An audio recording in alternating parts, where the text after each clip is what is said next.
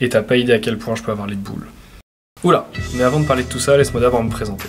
Je m'appelle Corentin, mais oublie ça, et fais comme tout le monde, appelle-moi Coco. J'ai 26 ans et je viens de Vendée, même si au fond, je crois que j'ai toujours rêvé de vivre à Hawaï, depuis que je suis tout petit.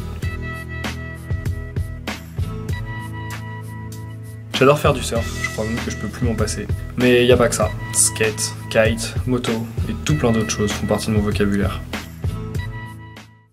Si je fais des vidéos, c'est d'abord pour pouvoir partager mes passions, raconter une histoire et simplement me fabriquer des souvenirs. Donc tu l'auras bien compris, ici tu vas trouver un peu de tout. Des sessions de surf, de skate bien évidemment, mais aussi des vidéos où on va parler matos et des tutos.